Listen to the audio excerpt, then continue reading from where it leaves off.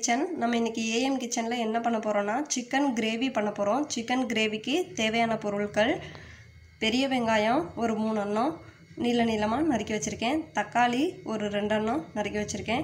கருவேப்பிலை கொஞ்சோண்டு மல்லி இலை கொஞ்சோண்டு சிக்கன் சிக்ஸ்டி ஃபைவ் மசாலா ஒரு ரெண்டு டேபிள் ஸ்பூன் வீட்டு மல்லித்தூள் ஒரு ரெண்டு டேபிள் ஸ்பூன் கரம் மசாலா கொஞ்சோண்டு சிக்கன் ஒரு அரை கிலோ அளவுக்கு எடுத்து வச்சுருக்கேன்.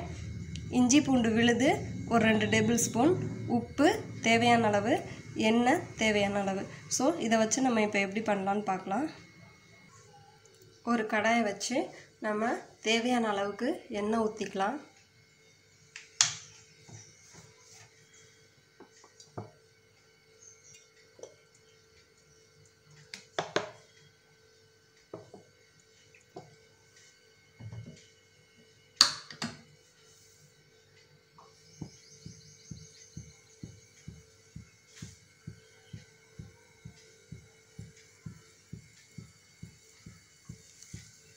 எண்ணெய் காஞ்சிடுச்சு. கருவேப்பிலையை நம்ம போட்டுக்கலாம்.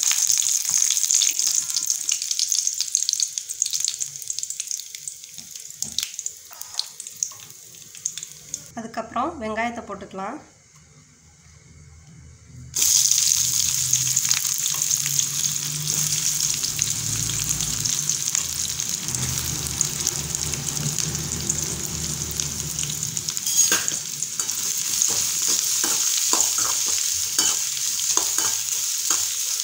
வெங்காயம் நல்லா வதங்கணும்.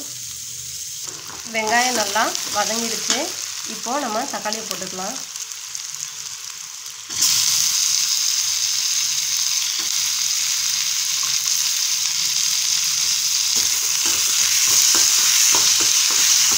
தக்காளியும் நல்லா வதங்கணும் தக்காளியும் நல்லா வதங்கிடுச்சு இப்போது நம்ம இஞ்சி பூண்டு பேஸ்ட்டு போட்டுக்கலாம்.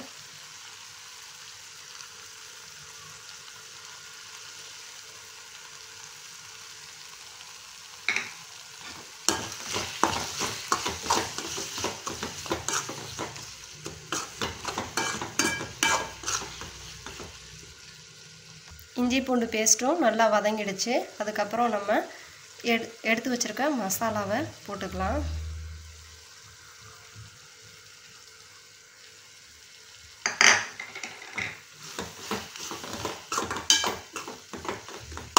நம்ம இதுலேயே தேவையான அளவு உப்பும் ஆட் பண்ணிக்கலாம்.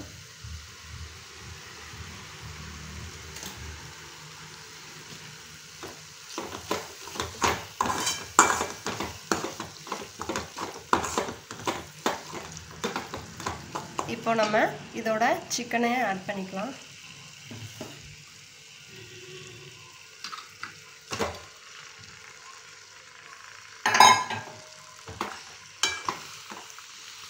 சிக்கனை கழுவி மஞ்சத்தூள் போட்டு கழுவி எடுத்து வச்சுருக்கேன்.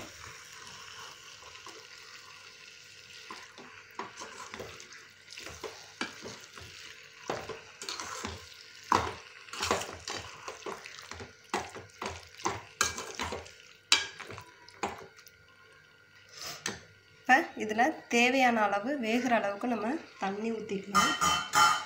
சிக்கன் ஏற்கனவே தண்ணி விடும். அதனால் கொஞ்சமாக ஊற்றினா போதும்.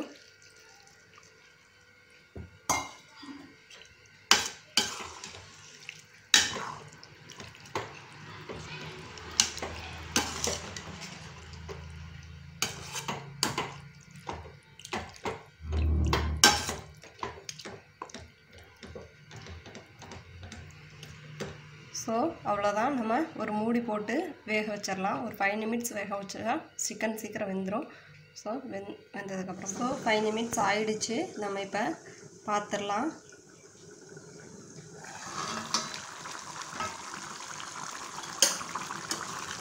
ஸோ கறி நல்லா வெந்துருச்சு. கிரேவி ரெடி ஆகிடுச்சு நம்ம கடைசியில் பெப்பர் தூள் காரம் நல்லா சாப்பிட்றவங்களா இருந்தால் ஆட் பண்ணிக்கலாம். நான் இதில் ஏன் மிளகாத்தூள் சேர்க்கலன்னா வீட்டு மல்லித்தூள்லையும் காரம் இருக்கும். வத்தல் போட்டு தான் அரைப்போம் காரம் இருக்கும்.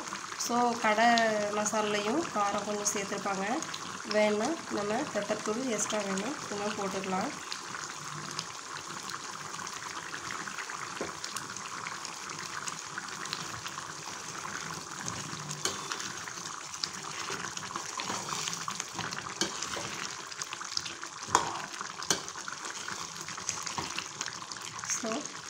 கடைசியில் நம்ம மல்லி இலையை தூவிக்கலாம். நம்ம சுவையான சிக்கன் கிரேவி ரெடி ஆயிடுச்சு. வீட்டில் கண்டிப்பாக ட்ரை பண்ணி பாருங்கள் ஓகே விவர்ஸ் நான் உங்களை அடுத்த வீடியோவில் சந்திக்கிறேன். Thank you.